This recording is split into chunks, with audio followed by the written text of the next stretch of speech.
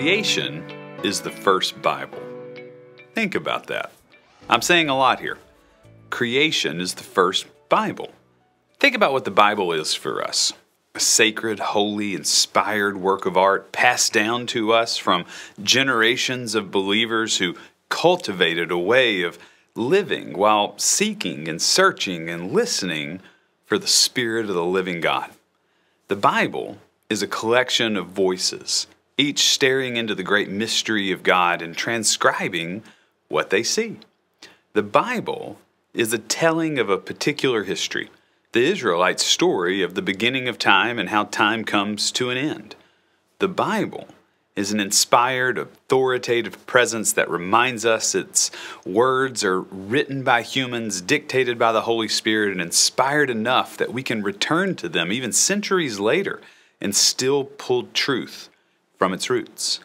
The Bible is a God breathed, God inspired, living document that moves us closer to the divine. And so is creation. Creation itself is a sacred, holy, inspired work of art passed down to us from generations of believers who cultivated a way of living while seeking and searching and listening for the Spirit of the living God.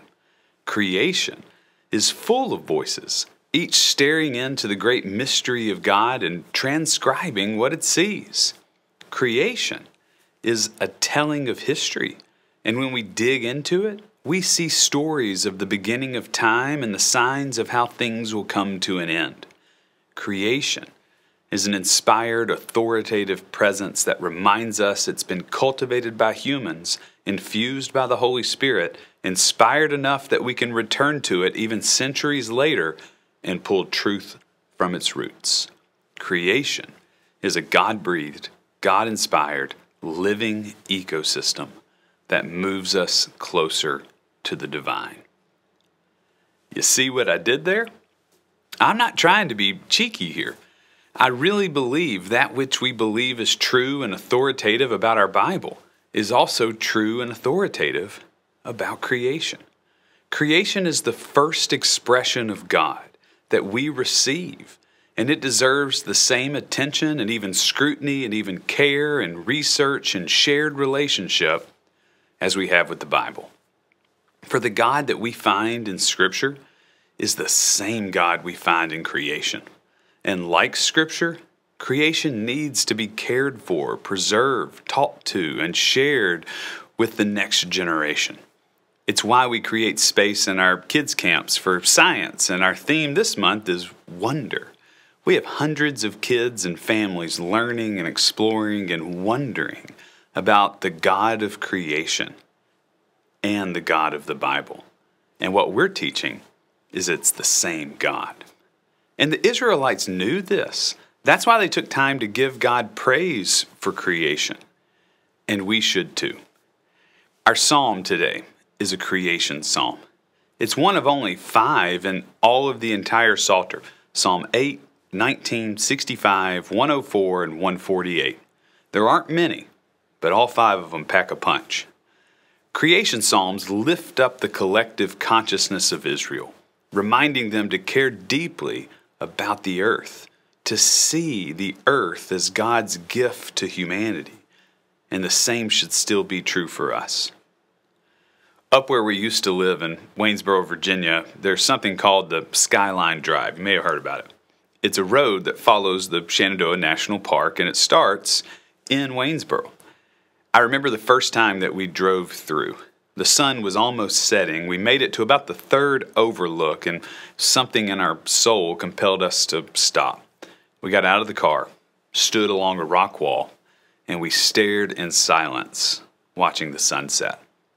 The beauty at that moment was as close as any of us get to hearing the audible words of God. It was a gift.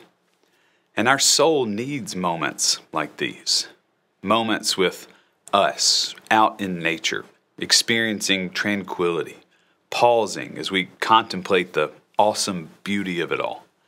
Our soul needs it so we can then take that moment, harness it, breathe it into our soul, and then offer thanks to God for it.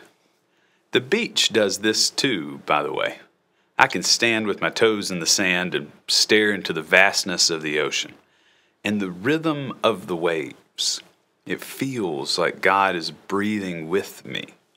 It causes me to pause and to take something from beyond me into me, and it calms my soul. The Israelites paused their busy schedules and days to do this too, and we should too. There's a reason why doctors tell us to exercise regularly or to get fresh air.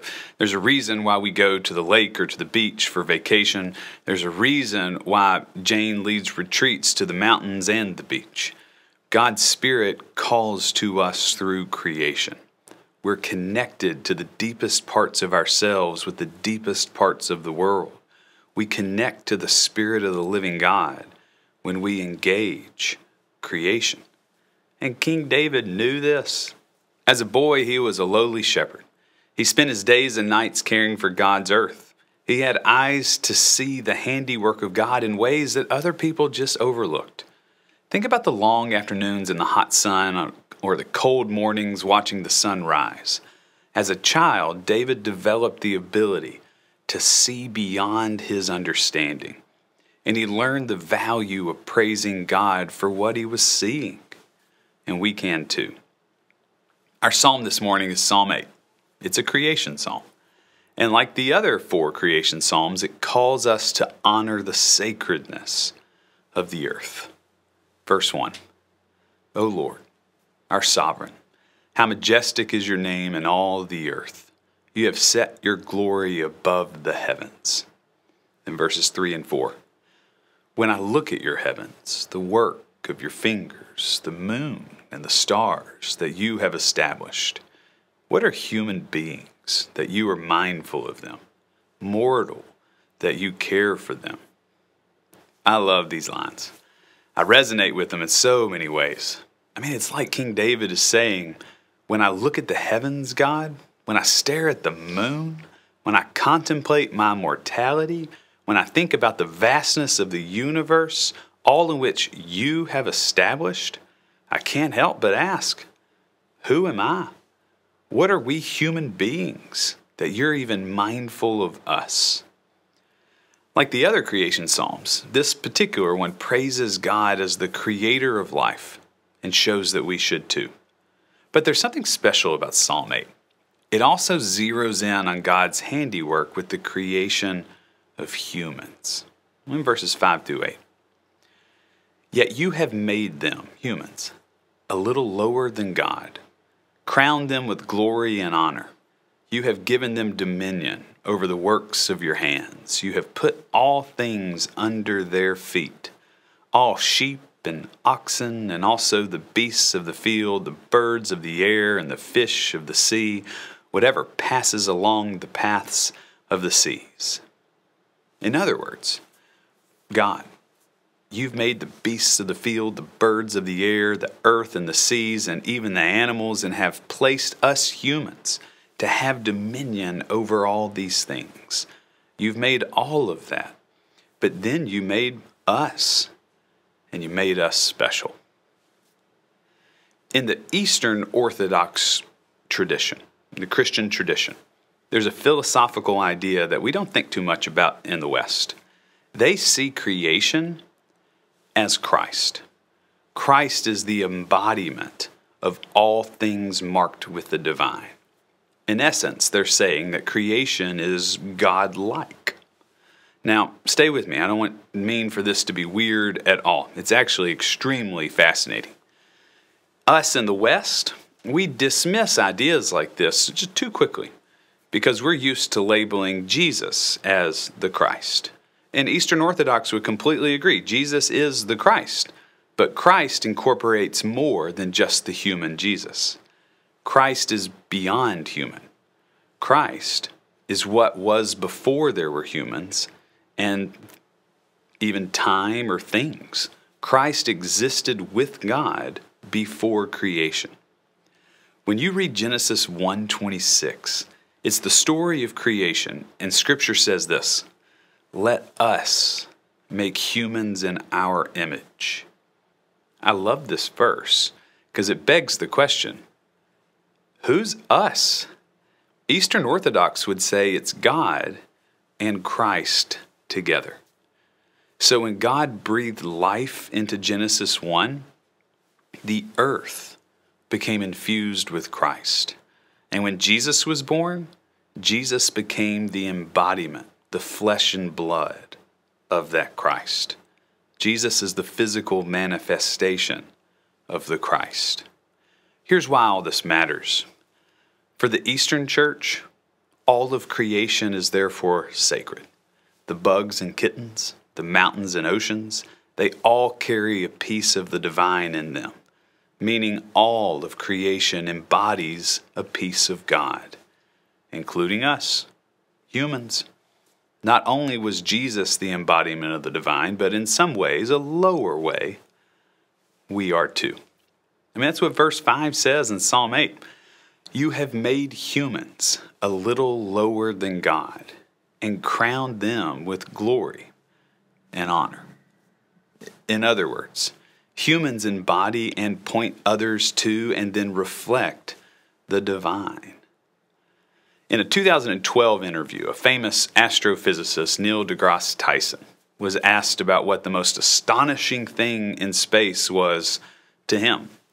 If you know him, he's very cheeky, he has great answers, and it didn't take long to respond. This was his quote The knowledge that the atoms that comprise life on Earth, the atoms that make up the human body, are also traceable to the crucibles that cooked light elements into heavy elements at extreme temperatures and created the same compositional elements found in the stars. When I look at the night sky, I know we are a part of this universe. We are in this universe. But more importantly, the universe is in us. We're told Tyson is an astrophysicist, but he sure sounds like the psalmist here to me. What both Scripture and Tyson and creation are saying to us is Christ is in us. If this is true, which I 100% believe it is, then what does this mean? It means a lot. It means King David may have been a genius. David knew God made us special. God made us with the same materials as the stars by putting pieces of the divine in us. And God is now asking us to care for it, love it, offer praise back to God because of it. It also means that this life in this earth is a gift. It was offered to us by God, and we must cherish it. We must care for all of creation and for one another. And your soul longs for you to start living in this way. So this week, go out into creation. Get your hands in the sand. Feel the sun on your face. Go on a walk. Go to the beach. Let your soul connect to the divine things of this life. It matters. King David knew it matters. And deep down in your soul, you know it does too. And when you go, I hope you will pray this from verse 9 O Lord, our sovereign, how majestic is your name in all the earth. O Lord, our creator, how majestic is your name in all the earth.